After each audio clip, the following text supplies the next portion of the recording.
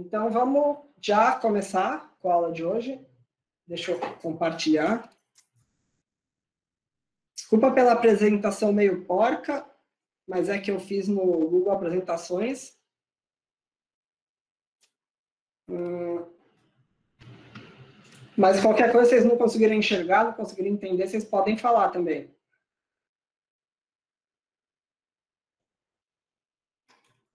Não, não está em Comic Sans. Vocês estão vendo a apresentação?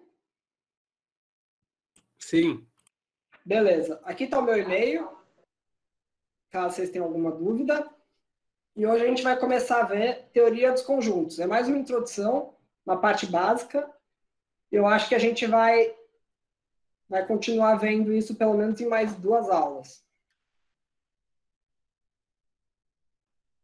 Bom, o que é um conjunto em matemática? Alguém tem uma ideia? Alguém tem uma noção? Pode abrir o microfone para falar. Se, se preferir, pode estar no chat. É um grupo de números, né? De símbolos, algo assim. É, basicamente isso. Só que não necessariamente de números. A gente pode usar o mesmo conceito de conjunto na linguagem comum, um conjunto de pessoas, ou seja, um grupo de algo, uma coleção, etc. Como, por exemplo, o conjunto das vogais é um conjunto, certo? conjunto dos estados do Brasil, conjunto dos planetas do sistema solar, ou então, por exemplo, o conjunto dos números ímpares e positivos. E agora a próxima pergunta, que eu quero que vocês reflitam. O que, que é o elemento de um conjunto? É bem boa essa pergunta, mas é para vocês pensarem mesmo. É uma parte do conjunto, é algo que compõe esse conjunto, não é isso? Isso. Só que é isso, só que não é exatamente isso. Por quê? Quando você diz que é uma parte de um conjunto, essa parte não essa parte pode ter mais de um elemento. Ah, sim. Quis dizer é um como elemento. o senhor falou do exemplo dos números ímpares e positivos. Se eu pegar Isso. o número 7, esse vai ser o elemento Isso. do conjunto. É o... Então, ele é um membro ou um objeto que faz parte desse conjunto. Ele é um único membro. Beleza? Elemento sempre vai ser isso. Como, por exemplo, o, o conjunto das vogais. Os elementos são A, E, O. Dos estados do Brasil, Acre, Alagoas, Amapá, etc. Dos planetas do Sistema Solar, Mercúrio, Vênus, Terra, Marte, e assim vai. E dos, número, dos números ímpares positivos, 1, 3, 5, 7, 9, 11 e por aí vai. Beleza. Agora, conjuntos e subconjuntos. Um conjunto, a gente vai ver isso na próxima aula com, com mais calma e mais detalhes o que é um subconjunto. Mas vocês concordam comigo que um conjunto ele pode ser elemento de um outro conjunto? Sim. Sim. Pode. Sim. Alguém entendeu esse, é, essa, essa frase? Não entendi.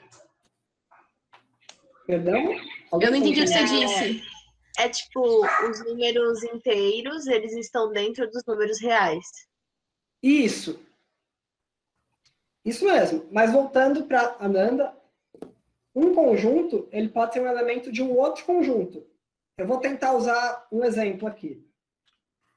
Por exemplo, a gente tem aqui o conjunto dos estados do Brasil, que a gente viu antes, né? Acre, Alagoas, Amapá. Uh, vou disponibilizar o material sim, Vitória. E etc, etc. E a gente também pode ter um conjunto com as cidades de cada estado. Como, por exemplo, no Acre. Rio Branco, Jordão, Mâncio Lima. Eu peguei aqui da, da internet. Alagoas, Arapiraca, Rio Largo. Ou então Amapá, as cidades Macapá, Santana, Laranjal do Jari, vocês concordam que os elementos desse conjunto aqui, dos estados do Brasil, eles também podem ser um conjunto? Como, por exemplo, eles podem ser um conjunto que tem as cidades de cada estado? Uhum. Podem, sim. Você uhum. entendeu, Ananda? O próprio subconjunto pode ser um conjunto, né? Entendi É, sim. sim. Perdão, deixa eu ver, alguém falou alguma coisa. Isso, ele é um subconjunto. bem, professor. Ele é um subconjunto. Isso eu, eu vou explicar o conceito de subconjunto com mais detalhe na próxima aula. Mas o que eu estou tentando explicar para vocês é que o elemento de um conjunto, ele também pode ser um conjunto. A gente pode pegar e analisar ele como um conjunto também. Então, por exemplo, aqui a gente viu primeiro um conjunto que tem os estados do Brasil. Só que a gente pode analisar cada um desses estados como um conjunto de cidades. Não sei se ficou claro. Ficou, e a Ficou, gente pode olhar demais. essas cidades em um conjunto cada vez menor, como bairros. Isso, isso. A gente fez. É, é que é, é que é difícil a gente falar sempre. Mas a gente, e muitas vezes, a gente pode pegar um elemento de um conjunto e analisar ele como sendo um conjunto. Beleza? Era só Beleza, isso que beleza. eu ia falar nessa. To- Todo subconjunto é um conjunto também, né? Perdão, Não não entendi, Roberto. To- Todo subconjunto também é um conjunto, né? Não, isso é a gente não pode afirmar sempre. Às vezes. Às vezes, então. Se você for pegar o. É igual você falar que, sei lá, o átomo, a subpartícula mais primordial que existe aí, que ela é feita de outras coisas. Você não pode afirmar isso, Roberto. Nem eu e acho que nem ninguém na Terra. Uhum. Então a gente não pode falar que tudo a gente Entendi. consegue analisar os, como se fosse um conjunto, entendeu? Entendi. Tá, beleza. Ah, nomenclatura. Normalmente, a gente vai chamar os conjuntos utilizando letra maiúscula, como, por exemplo, A, B, C. E os elementos com letra minúscula, A, B, X, Y, Z, sei lá, qualquer letra minúscula. Se um elemento pertence ao conjunto e se o elemento não pertence ao conjunto, a gente vai, a gente vai simplesmente, simplesmente escrever desse jeito aqui. Beleza? Provavelmente muitos de vocês já viram isso antes. A gente, por exemplo, se o elemento x pertence ao conjunto A, ele vai escrever simplesmente x pertence a A. Esse aqui é o símbolo de pertence, é um negócio parecido com a, com a letra E. Esse aqui é o símbolo de pertence. E se ele não pertence, se ele não pertencer, x não pertence a A. Esse símbolo aqui quer dizer que ele não pertence. Como, por exemplo, se a gente pegar e chamar X Rio Branco, Y São Paulo, e C o conjunto com as cidades do estado do Acre, vocês concordam comigo que o X vai pertencer a C e o Y não vai pertencer a C? Uhum. A não ser que exista uma cidade chamada São Paulo no estado do Acre. Eu não sei se existe. Eu, isso aqui eu fiz de cabeça, mas eu acho que não. Acho que no senso comum talvez não tenha. Então, foi só para ilustrar. Mas vocês concordam comigo Uhum. com essa nomenclatura aqui. Isso aqui é só para vocês pegar a nomenclatura, beleza? Tá. E a gente pode representar um conjunto graficamente. A gente vai usar uma linha fechada. Fazendo essa linha fechada, os pontos dentro dessa linha fechada vão representar os elementos que pertencem ao conjunto e os pontos fora, os que não pertencem. Beleza? E esse tipo de representação é chamado de diagrama de Euler-Venn, ou Euler, depende de quem está pronunciando, Uhum. ou então diagrama de Venn. O jeito mais comum que aparece assim na, na literatura, em exercícios, é diagrama de Venn. Tem costuma cair bastante exercício que envolve esses diagramas em vestibular, concurso, etc. E como são? Ó, a gente faz uma linha fechada. Aqui eu coloquei os dois. Aí eu vou fazer uma pergunta para vocês. Tem alguma diferença entre essas duas imagens? Analisando teoria dos conjuntos. Não. Não, né? Não. Aqui só, só para mostrar que a linha não precisa ser um círculo perfeito. É simplesmente uma linha fechada. Ambas são linhas fechadas. Então, beleza. Duas linhas fechadas.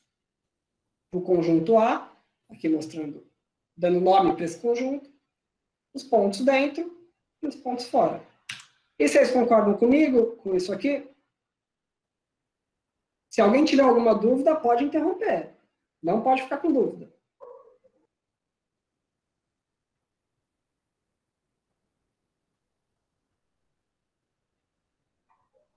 Tá certo. Tá todo mundo, todo mundo concorda? Sim. Sim. Sim. Beleza. Sim.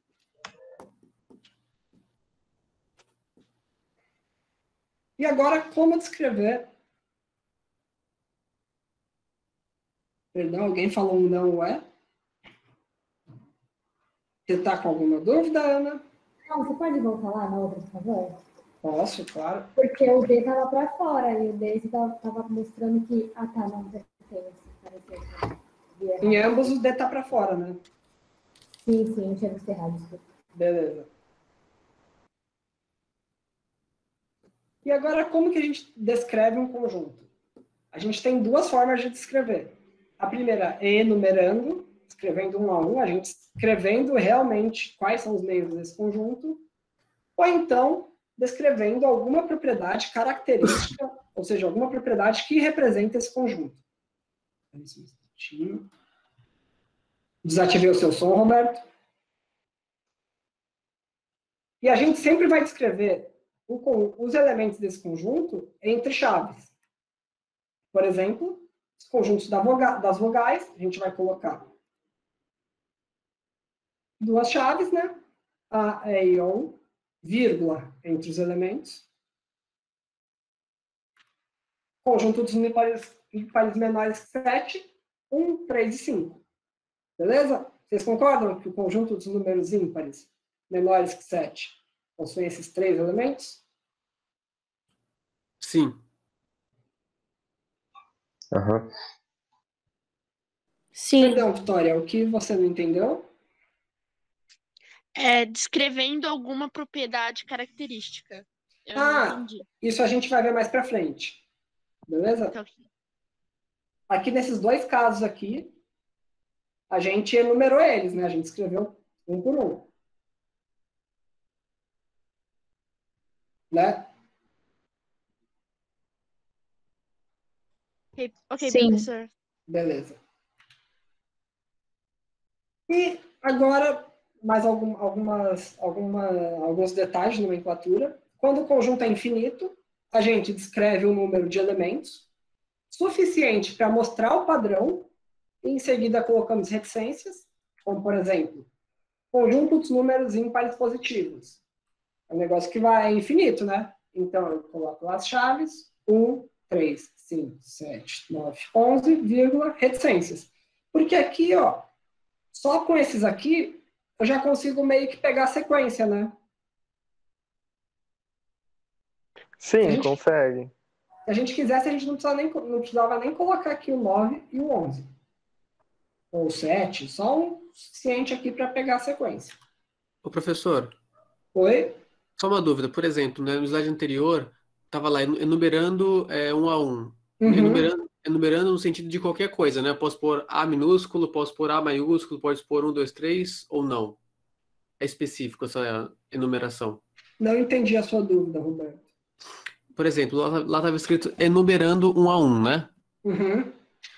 Mas é, esse enumerar não significa que eu tenho que é, numerar os itens em forma de números. Posso Não, letra. enumerar, enumerar não quer dizer necessariamente que você está representando algo através de números. Você só está Pontuando, né? É, pontuando, Entendi, isso. entendi. Tá bom. Era só essa dúvida. Obrigado. Beleza. Vamos lá. O próximo, conjunto dos números primos positivos. 2, 3, 5, 7, 11, 13, aqui os primeiros números primos, vírgula, reticências. Até aí tranquilo, né? Quando, e agora um outro caso. Quando o conjunto ele é finito, só que ele é muito grande, o que a gente faz? A gente coloca os elementos iniciais, abreviamos com reticências e aí colocamos o último. Por exemplo, conjuntos números inteiros de 0 a 500. Eu não vou perder meu tempo escrevendo num papel, digitando no computador, 0 até 500, né? Acho que é bobeira, vocês concordam? Então, o que a gente faz? A gente coloca aqui o 0, 1, 2, 3, meio que para pegar o padrão, vírgula, reticências, vírgula e último. E é importante. Sim, ele sempre tem que ter algum padrão, Ana. Porque se eu coloco simplesmente uns números aleatórios, por exemplo, se aqui ao invés de, de tipo, se não fosse 0, 1, 2, 3, fosse, por exemplo, 0, 4, pi, aí um terço, aí vírgula, reticências, sei lá, 0,2. Não tem sequência nenhuma aí, né? A gente não consegue estabelecer nenhuma sequência, nenhuma lógica assim da sequência para a gente não consegue descobrir o que está dentro dessa reticência, né? Sim, sempre que tiver uma reticência, a gente tem que ter uma lógica nesse esquema aqui. Isso, mesmo pequeno ou grande. Aí o que, que a gente faz? A gente coloca. Não sei se ficou claro.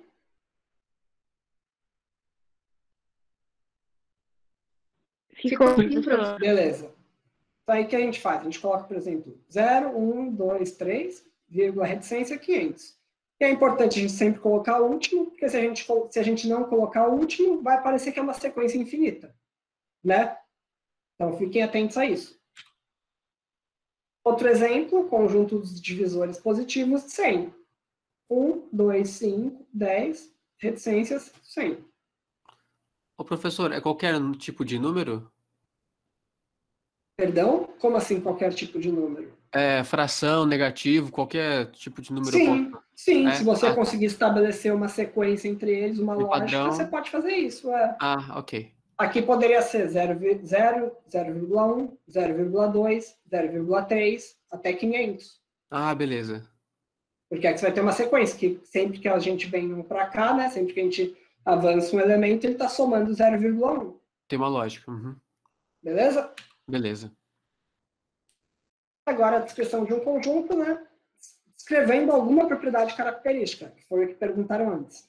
Como funciona isso? Ao invés de a gente escrever todos, a gente pode escrever todos os elementos. A gente pode escrever, por exemplo, o conjunto A. Aqui eu deixei como se lê, ó, por exemplo. A é o conjunto dos elementos X, tal que X tem a propriedade P. Aqui eu deixei de forma escrita, porque é sempre bom a gente meio que ir se acostumando com essa linguagem matemática também. Essa barrinha aqui significa tal que, a gente lê Tal que. Tal que essa barrinha aqui. É simplesmente um símbolo que representa isso. Que representa essa conexão aqui, tal que. Ou seja, então, nesse caso aqui, vai ser um conjunto dos elementos x. O tal que está falando que o x, desse, o X ele tem essa propriedade P aqui, necessariamente. Certo? Beleza. Por exemplo, acho que com exemplo vai ficar melhor. Sim, assim que der, a gente já vai colocar no canal as aulas. Beleza. Melhoras. Por exemplo, ao invés de eu escrever no conjunto os estados do sul do Brasil, eu posso escrever X, no conjunto, no conjunto qualquer, onde tem os elementos X, tal que X é estado da região sul do Brasil. Paraná, Santa Catarina e Rio Grande do Sul. Vocês concordam que esse aqui é o mesmo conjunto? Aqui, embaixo eu enumerei os elementos, em cima eu escrevi ele representando uma propriedade dele. Mas se sempre ficou... tem que ser a propriedade específica do grupo, né? Como assim? É... é que nem. Como é que eu vou. Espera aí, deixa eu formular melhor a pergunta, depois eu volto. Beleza. Alguém levantou a mão? Pamela? Oi, professor. Eu não entendi muito bem. Nesse exemplo que você deu, X, o conjunto de elementos, é para. É, não sei a palavra. Abreviar, tem que escrever Paraná, Santa Catarina e Rio Grande do Sul? Aqui eu escrevi o mesmo conjunto. A diferença é que eu posso escrever o conjunto enumerando eles, falando os estados, ou então eu posso descrever ele utilizando alguma propriedade dele. Posso descrever esse conjunto utilizando alguma propriedade dele. Como nesse exemplo aqui, eu escrevi conjunto X dos elementos X, tal que os elementos X é estado da região sul do Brasil. Aqui, com essa propriedade, eu já sei que são esses elementos aqui, né? Desculpa, não entendi mesmo. Calma aí, vou tentar mais uma vez, então. Desse jeito de cima, que a gente está vendo aqui, eu escrevi esse aqui de baixo de uma forma diferente, né? Ao invés de eu escrever de um a um, eu escrevi simplesmente uma característica deles. Quer ver? Deixa eu tentar com mais um exemplo, talvez fique mais claro. Por exemplo, um conjunto qualquer x, tal que o x é inteiro e o x é maior que zero, menor que mil. A mesma coisa que eu escrever isso aqui, né? Um conjunto com os números 1, 2, 3, 4, 5, 6 e até o 999. Aqui eu enumerei eles, né? eu coloquei todos os elementos. E aqui eu usei uma, uma característica, uma propriedade para falar deles, né? para falar desses elementos.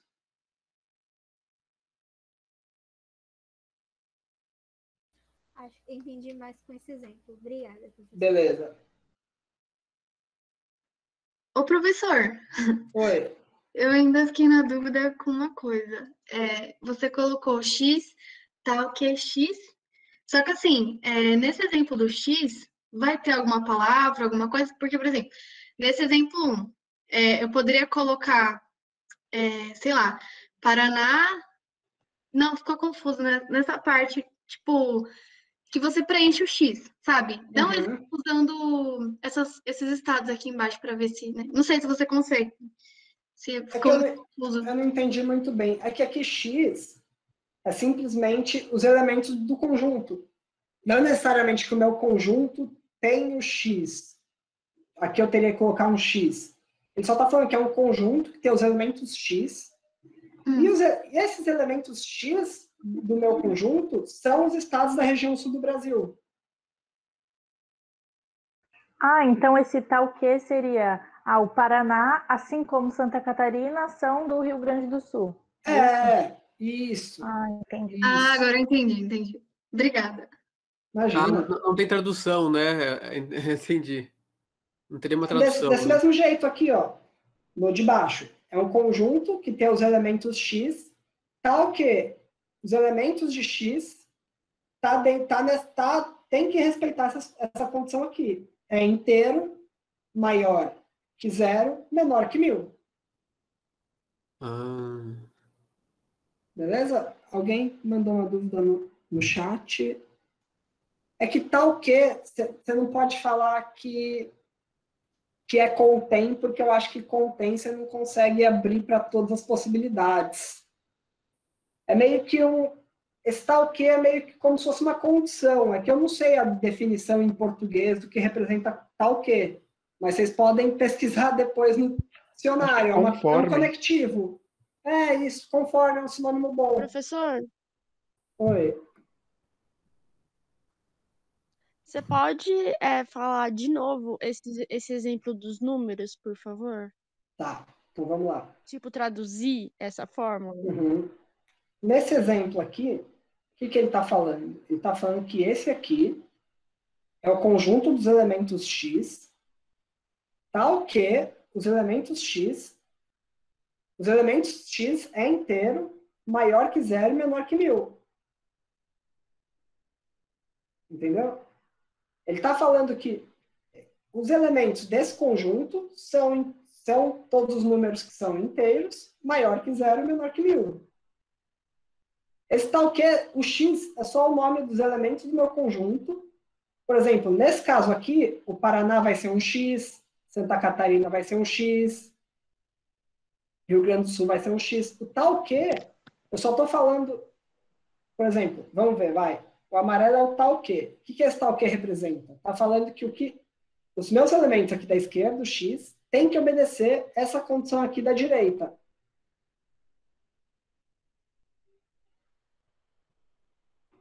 Professor, não teria que ser x, y e z por, ser, por serem estados de, é... Não, porque não. O, o, x ele está representando todos os, os coisinhos é, do conjunto, todas é as partes mesmo. do conjunto. Entendi, não individualmente, né? É, é não, o x é só a representação de cada parte do conjunto. Isso, é o que a ah, Nathalie falou, é o, é o que é a condição dos elementos desse conjunto. Porque, por exemplo, eu poderia ter aqui um, um A igual x, tal que x tem a propriedade P. Nesse mesmo conjunto, eu poderia ter um y, tal que o y tem uma propriedade e outra propriedade, entendeu? Entendi. Isso são só, isso aqui é só a linguagem da condição que esse, esses elementos do meu conjunto têm que ter. Deixa eu ver, mandaram coisas no chat. Como assim, o mais adequado para responder no vestibular? Depende. Se for uma coisa que você. Porque às vezes é uma operação com conjunto que você não vai enumerar, você vai ter que fazer uma, um cálculo aqui.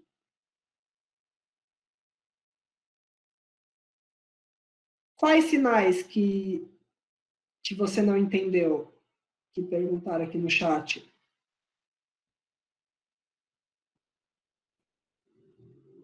Essa barra vertical tá o quê? Essa barra vertical tá o quê? Só tá falando que esses elementos aqui da esquerda tem que ter essa propriedade aqui da direita. A chave, essa aqui é menor. Esse, esse, esse sinal aqui representa menor. Zero é menor que x, e esse outro aqui também, o x tem que ser menor que mil. Porque a ordem, a ordem importa. O que eu aprendi, isso, tal que é um conector. O que eu aprendi na escola, que eu usava para gravar, sempre a boquinha aqui do sinal sempre está virada para o maior. Então, o que isso aqui está querendo dizer? Está falando que o x está entre 0 e 1000 porque ele tem que ser maior que zero, né? E ele tem que ser menor que mil.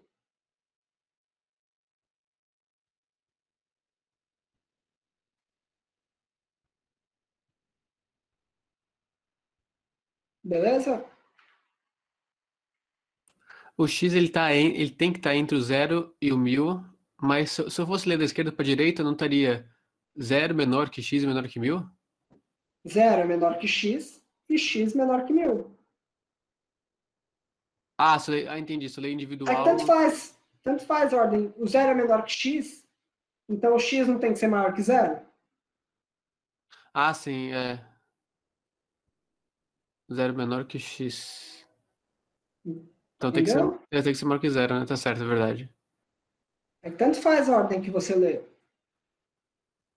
Uhum. Ficou claro isso? Mas isso aqui é só uma forma de representar. Eu acho que conforme vocês forem vendo, Vai clarear. vocês vão pegando a manha. Uhum. O X representa os conjuntos entre os números maiores que zero e menor que mil. É isso.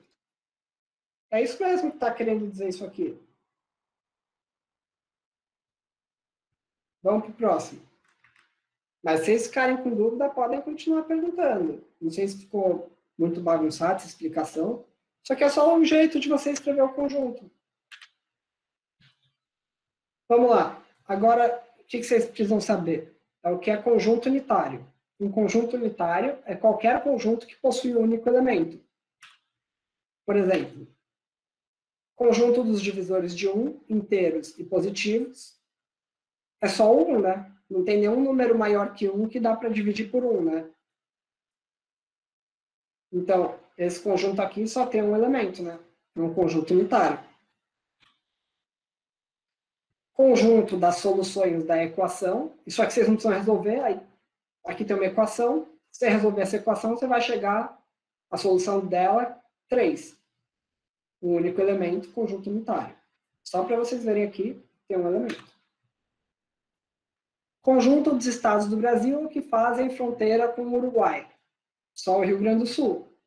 Um elemento. Beleza? Tranquilo isso?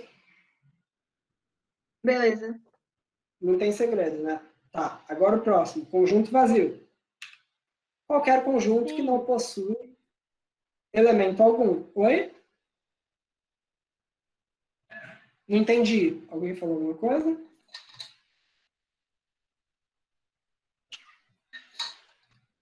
Bom, vamos lá. O conjunto vazio tem uma coisa bem importante. A gente usa o símbolo esse trequinho aqui é um O cortado, ou um zero, um O.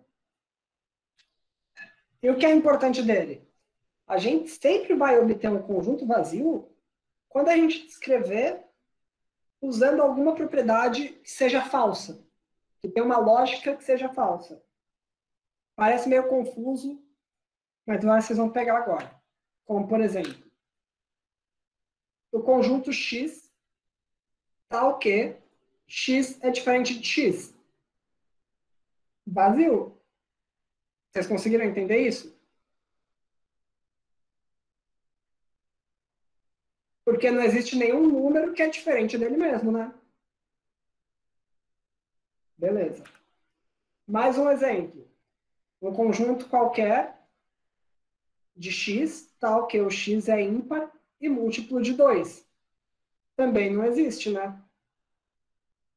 vai resultar em um, elemento, um conjunto vazio. Não existe nenhum número ímpar múltiplo de 2. Ou então, por exemplo, conjunto dos estados do Sul que começam com a letra A. Também vai resultar no conjunto vazio.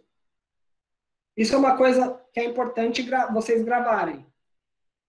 Sempre que tem um conjunto vazio, está associado com alguma coisa falsa. Beleza?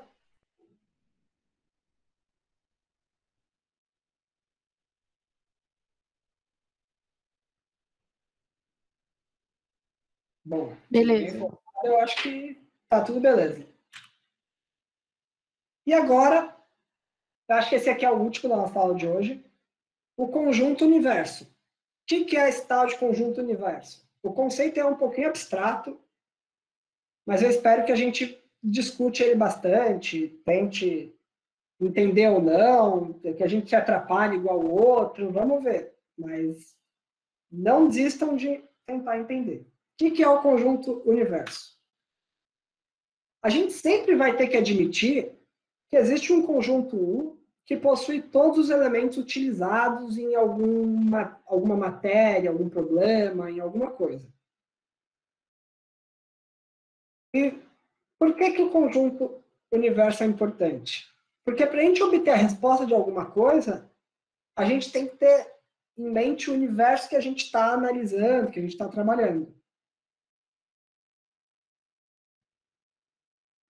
É, nesse caso, o U é um conjunto.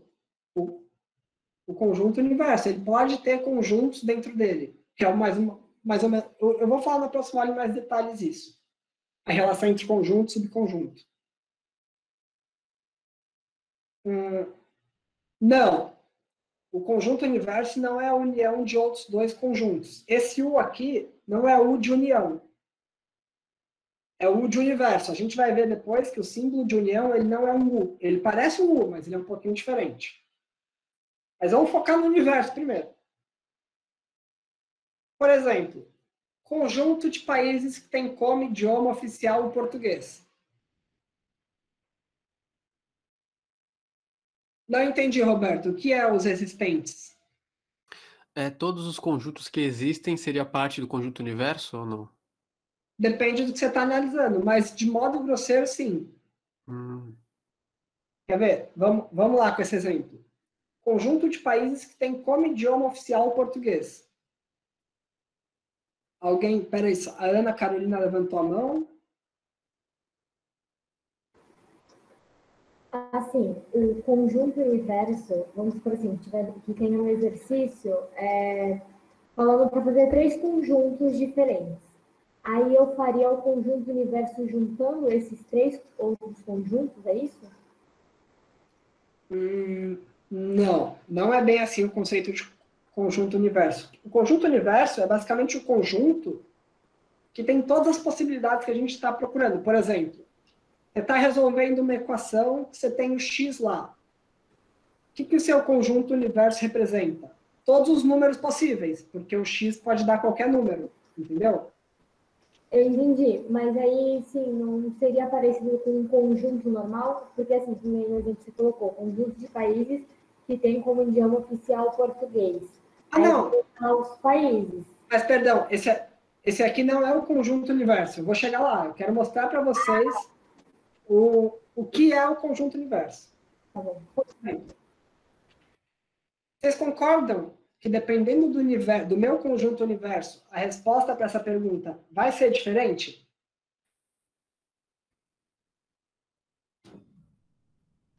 Sim. Quer ver? Vamos lá. Se eu considerar, ó, meu conjunto A, aqui eu só escrevi, meu conjunto A tem possui os países que têm como idioma oficial o português. Vamos lá, o primeiro. Se o meu conjunto universo for a América, meu conjunto A vai ter só o Brasil. Vocês pegaram o que é o conjunto universo? É uma subcategoria dentro de uma categoria. Não. Porque... É a categoria, né, que se encaixa. A América não está dentro do Brasil. É um quesito, né? É um referencial. a gente pode falar categoria. É, é, é mais um referencial. É, é tipo, é isso, tipo um guarda-chuva. É tipo, meio que o universo é o quê? É dentro do que, que a gente está procurando. Aí eu todas as possibilidades. Porque, por exemplo, na América, se o meu universo for América, a América não tem só países que falam português, tem um monte de outros países. Só que como o meu universo é a América, eu só vou poder procurar resposta dentro da América, entendeu? Certo, certo. O universo é mais ou menos aonde que eu posso procurar coisa. Ah, hum, então okay. eu então, por exemplo, é, só para ver se eu entendi. Vamos supor que eu estou procurando os números ímpares é, positivos, mas uhum. o meu universo é só do 1 até o 100. Aí, Aí seus números pego... ímpares positivos vai ser só dentro desse universo. Ah, entendi, Entendeu? entendi. Esse é o conceito de conjunto universo. E quem vai determinar isso vai ser o próprio exercício, né? Não vai estar explícito que ali vai estar o conjunto universo, mas ele vai pedir de tal coisa tal coisa, né? Então, Isabel, é que aqui a gente não está vendo esse conceito baseado em um exercício ou outro. Depende muito do problema do que você está analisando. No caso de um exercício, ou o exercício vai ter que falar o universo que você vai ter que analisar, ou então você vai ter que saber. Porque, por exemplo, se há uma, sei lá, uma questão, aí eu vou extrapolar para outra matéria. Se há uma questão que chega e pergunta para você, quais são os países da América que falam, que têm como idioma oficial o português? Você vai ter que saber que o seu universo é a América, porque você, tá procurando, você só vai poder procurar dentro da América, entendeu? Sim, entendi, professor. Entendeu? Sim, obrigada. Imagina. Deixa eu ver aqui o chat rapidinho.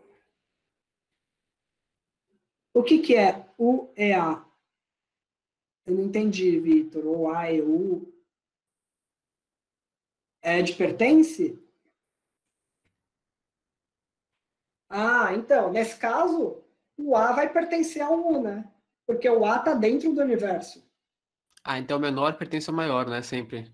É, o menor pertence ao maior. E o ah. universo, como ele é todas as possibilidades, o seu conjunto sempre vai estar dentro do universo. Perfeito. Mas vamos continuar. E se agora o meu universo for a América e a Europa. O meu conjunto universo for, for América e Europa. Aí o meu conjunto A não vai mais ter só o Brasil, né? Ele vai ter o Brasil e Portugal. E se meu conjunto universo for o mundo, vai ter, meu conjunto A vai ter esses países aqui. Só que aí, como vocês falaram agora há pouco, nos três casos, por exemplo, esse conjunto aqui pertence ao meu universo mundo, esse meu outro conjunto aqui, Brasil e Portugal, pertence ao meu universo América e Europa, e o meu conjunto A, Brasil, pertence ao meu universo América. Só que isso, vocês tomem cuidado que podem confundir vocês, que isso depende caso a caso. Porque aqui, ó, eu não posso misturar problema. O meu, esse meu conjunto aqui da imagem, ele não pertence ao meu universo que eu estou só considerando a América, né? Uhum. Sim, que cada universo é um universo é, diferente. Isso, então tomem cuidado para não misturar. E agora o último, conjuntos iguais. Dois conjuntos são iguais quando todo elemento de A pertence a B e vice-versa. Essa aqui é a notação matemática, mas não foque muito nisso. E o que diz? Para o A ser igual a B, tá aqui, ó para o conjunto A ser igual ao conjunto B. Essa seta aqui significa, é uma condição dupla, né? Eles só, vai ser, eles só, vão, só vão ser iguais se para todo x, esse trequinho aqui significa para todo, para todo, isso aqui para todo x. Se para todo x, um elemento x pertence ao conjunto A e também, aqui a setinha, né? Esse elemento x pertence a B. Ou seja, em outras palavras, para dois conjuntos serem iguais, todos os elementos de um, de um conjunto, do conjunto de um conjunto têm que pertencer ao outro e todo, todos os elementos desse outro conjunto têm que pertencer no primeiro. Quer ver? Professor, é tipo assim, é 3 positivo é igual a 5 positivo. Os dois são positivos, números inteiros, então pertencem aos dois tipos de grupos? Não, não é isso. Os elementos não. têm que ser iguais. Quer ver? Ah, tem que ser 3 e 3. Por exemplo, esses dois conjuntos aqui são iguais. Por quê? Vamos lá. Indo de um em um. Esse primeiro conjunto, elemento A, está no da direita. O B está no da direita. O C está no da direita. E o D está no da direita. Ah, tem que ser todos iguais. Da direita para a esquerda, a mesma coisa. O D está no da esquerda. O C está no da esquerda, o B está no da esquerda e o A está no da esquerda. Beleza? Esse é o conceito ah. de conjuntos iguais. Beleza. E aqui vocês concordam também? 1, 3, 5, 7, infinito, é igual ao conjunto dos elementos x, tal que x é inteiro, positivo e ímpar. Sim. Vocês concordam? Que todo elemento aqui que é inteiro, positivo e ímpar, também está no da esquerda? Uhum. Sim. Uhum, sim. Beleza. E agora, terminando, o que, que isso aqui resulta? Que, como vocês já viram antes, o que, que a gente pode concluir com isso? A ordem dos elementos de um conjunto não importa. Beleza? Uhum. Porque mudando a ordem, o que está em um vai continuar estando em outro. E elementos repetidos não têm significado em um conjunto. Porque, ó, esses dois conjuntos aqui, vocês concordam comigo que eles são iguais? Sim. Sim. Só o 2 que foi é. repetido ali. É, mas ele mesmo sendo repetido, todos os elementos de um estão tá no outro. Mesmo sobrando, não tem problema? É, o 2, esse 2 não está aqui? Sim. Sim. Esse 2 do meio não está aqui também? Também. Beleza. Então, com isso, a gente já vê que não vale a pena gastar caneta ou o dedo digitando elemento repetido, que tanto faz. Se esses dois são iguais, por que, que eu vou repetir? Se eles querem dizer a mesma coisa, né? Hum. Beleza. E se A não é igual ao B, a gente vai usar esse sinalzinho aqui de diferente. A diferente de B. Por exemplo, esses dois conjuntos aqui são diferentes né? Porque aqui, por mais que o A, o B e o D também estejam nesse conjunto aqui da esquerda, o C não está no da direita. e aquele negócio que está escrito naquela fórmula que, que teve alguém que falou que não entendeu. Pra, quando está escrito para todo x, está falando que a gente tem que analisar todos os elementos. Por mais que esses três aqui estejam da direita, tem um que não está. Então aquela afirmação para todo x não é mais verdadeira, né? Uhum. Beleza? Beleza. Essa parte foi tranquila, né, pessoal? Um outro aqui. O x está o quê? O x. O x é maior que zero e é menor que 10, é diferente desse outro aqui da direita, né? Alguém consegue. Alguém sacou o motivo? É que o segundo também entra o zero junto. É, isso mesmo, o zero entra junto, porque aqui é menor ou igual. Isso mesmo. Então, beleza, fechou. Alguém tem mais alguma dúvida? Não. Não, ficou bem explicadinho, deu para entender. Beleza. Mas mesmo se vocês tiverem qualquer dúvida, podem me procurar, tá? Tá bom. Tudo Obrigada. bem, professor.